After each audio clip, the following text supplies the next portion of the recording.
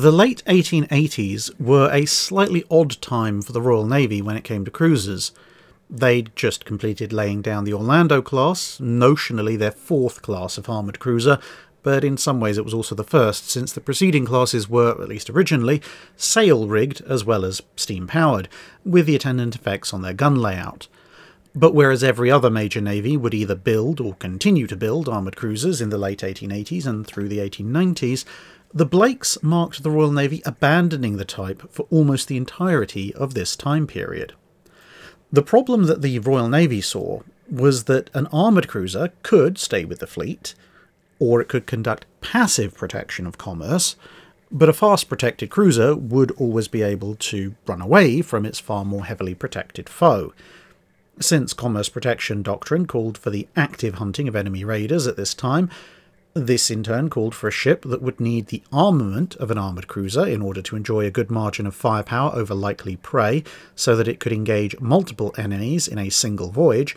But would, in order to have the speed to run them down, it also needed to be quite fast. With armour still of the compound type, it was impossible to provide any kind of meaningful belt armour as well as speed. One of the major concerns was converted ocean liners which tended at the time to be quite fast and quite long ranged compared to warships. Thus, in 1887, the new Director of Naval Construction, William White, offered a fast and large protected cruiser. At first, the armament was very heavy two pairs of single 9.2 inch guns at either end, with 10 of either the slower firing 6 inch guns or a new 70 pounder quick firing gun, mounted 5 per side, and an array of smaller quick firing guns at all points to deal with torpedo boats. Designed to reach 22 knots, the design could run down and kill anything that might conceivably be used as a commerce raider. This was approved in principle, and work on refining the design began. This involved, amongst other things, halving the main battery and upgrading the engine power to allow the ships to reach their target top speed even if they were deeply loaded. The new ships, as a result, were huge. Although they displaced 3,500 tons less than the then building Trafalgar class ironclad battleships, at just over 9,000 tons, they were a full 55 foot longer than the capital ships, albeit they were also 8 foot narrower.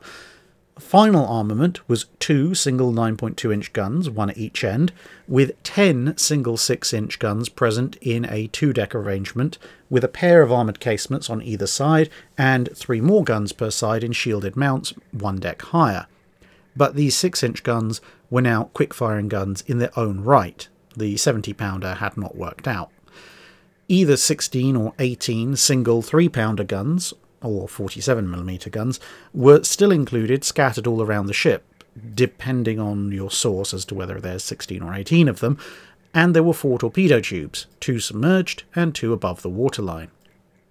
Power came courtesy of four vertical triple expansion engines that drove a pair of screws, as there were two engines attached to each shaft, with one being able to be disconnected per shaft for cruising purposes.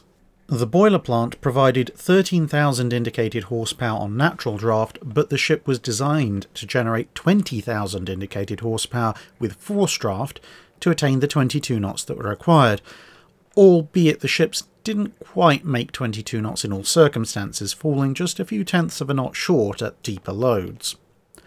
Armour consisted of a curved protected deck, 3 inches thick on the flat and 6 inches thick on the slopes, with a 12 inch thick conning tower, 4.5 inches on the gun shields of the 9.2 inch guns, and 6 inches on the casemates on the lower 6 inch guns.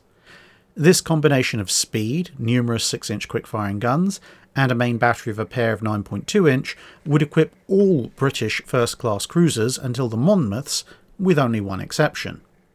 The Blake's sheer size and ostensible power triggered something of a minor cruiser arms race, and various one offs or small runs of very large cruisers were built by other navies. The Royal Navy especially focusing on Russian ships like Rurik, which would ultimately lead to even larger and faster ships being laid down.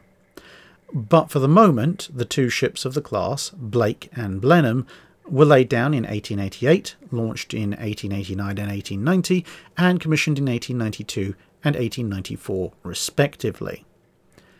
Initially dispatched to foreign stations, the two ships were recalled to the Channel Fleet shortly thereafter and would often feature in major naval exercises, and occasionally, thanks to their large size, would be used as transports who could move an entire crew to or from an overseas station, which allowed the Admiralty to keep another large cruiser or even a battleship on station whilst cycling the crew around. In 1903, it was proposed to upgrade their 9.2 inch guns to the latest model, delete the lower four casemate mounted 6 inch guns, and then use the saved weight to provide casemate armour for the higher mounted remaining 6 inch guns. But as the ships as a whole were thought to be getting a bit out of date, nothing was done. Instead, in the late 1900s, the two were moved to secondary duties as destroyer depot ships. Blake served in this role for the 2nd and then the 11th Destroyer flotillas and was eventually scrapped in 1922. Blenheim served in the depot role in the Mediterranean and could be found at Mudros Bay supporting the Gallipoli campaign in 1915, before she was also scrapped eventually in 1926. That's it for this video. Thanks for watching. If you have a comment or suggestion for a ship to review, let us know in the comments below. Don't forget to comment on the pinned post for dry dock questions.